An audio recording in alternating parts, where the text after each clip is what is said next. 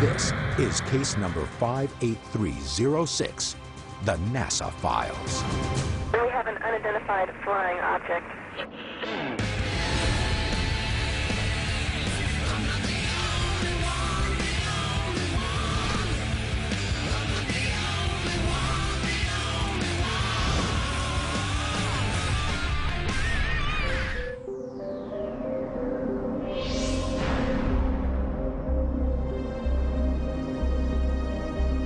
Since the beginning of the manned space programs in the early 1960s, UFO researchers have claimed that NASA missions are seeing UFOs in space. Cameras aboard NASA spacecraft photograph and videotape numerous large solid objects. According to some experts, these objects appear to accelerate, change direction, and even evade danger. NASA's explanations say that these are images of ice crystals or other normal space debris. But others are convinced that NASA is not disclosing the entire truth.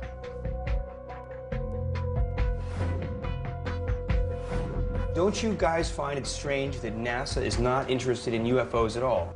NASA has a limited budget, and UFOs is just considered to be so unlikely that NASA put their resources towards other areas they feel are more likely to yield fruit.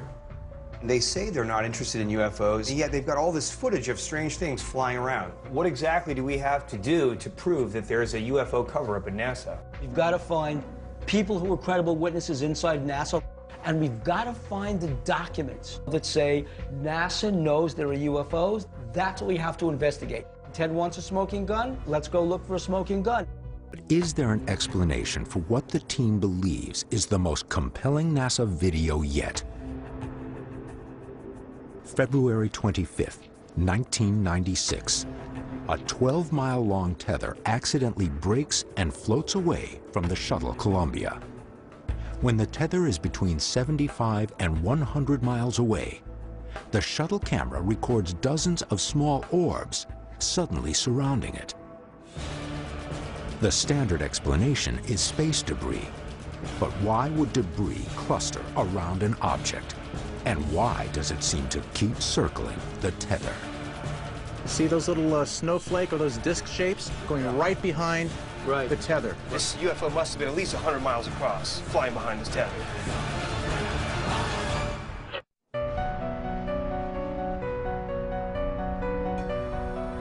NASA maintains its only mission is to explore outer space. But some claim NASA is suppressing evidence of UFOs. The team has been analyzing official NASA video taken during Space Shuttle missions to investigate these stories.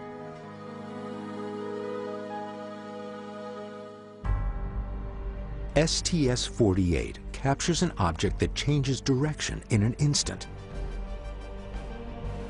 And STS-114 films an object traveling a very unusual path. But in the case of STS-75, the team finds the footage so compelling that they seek insight from experiments producer John Tyndall. Uh, today we're going to demonstrate a difficulty that a uh, uh, three dimensions uh, being captured by two-dimensional cameras. John believes this experiment will shed light on the images captured by STS-75. A tether broke off from the space shuttle and was seemingly surrounded by small orbs. He has set up a spatial representation of the tether and the windows of the shuttle.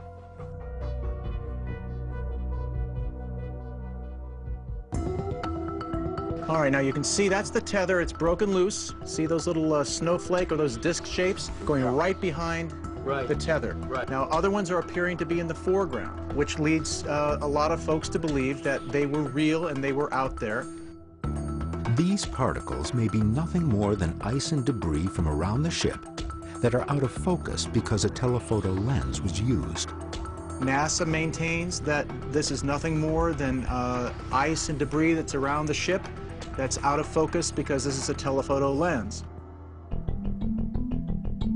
Now the camera was using a lens, a telephoto lens, which incorporated a mirror. This hole that's in the center of this mirror uh, also leaves an artifact, the same artifact that you see in the discs. Light illuminates these objects from behind, and then this light bounces off the mirrored lens.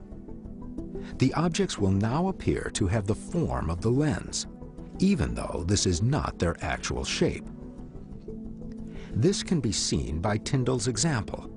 He has prepared a small piece of fishing line that is backlit by a green light. However, when the line is passed in front of the camera, it doesn't look like fishing line it takes the form of a circle with a hole in the center.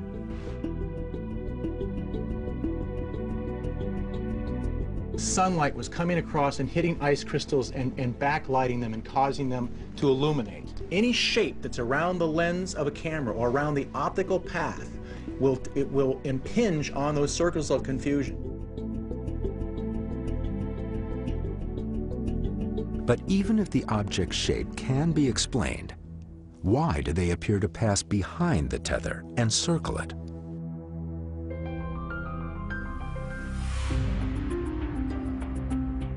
John has set up a mock tether inside a three-dimensional environment and will show how this optical illusion occurs.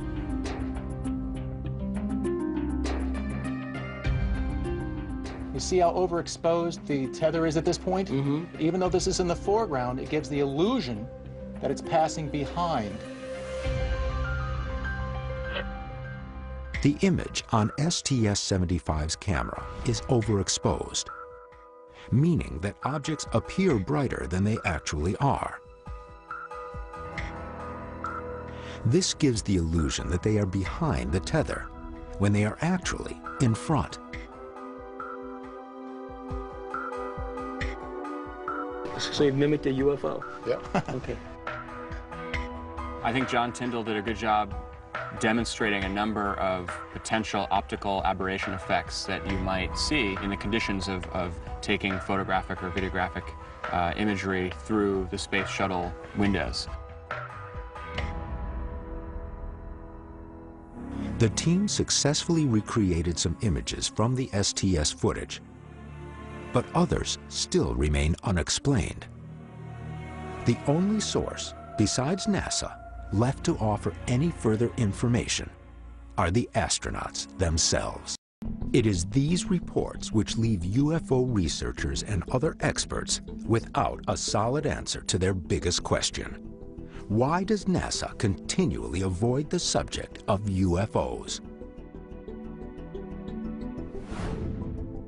We've got documents here uh, the Condon report, uh, the, uh, the testimony of uh, Ed White and James McDivitt, the UFOs they saw. I think I've moved beyond uh, believing that there are mere contradictions in NASA's UFO policies to believing that there may, in fact, be some kind of UFO cover-up. Cover-up at NASA? I doubt it. I, I'm not sure there is that much on record to cover up at NASA, besides some of these sort of very spurious videos and, and a few testimonies. What about the testimony of the astronauts themselves? I mean, can you ignore that? You can't ignore it, no. Has NASA already gained knowledge of extraterrestrial intelligence? The team believes that until all NASA photographs and video evidence are released and open discussions on the events are allowed, the NASA files will remain open.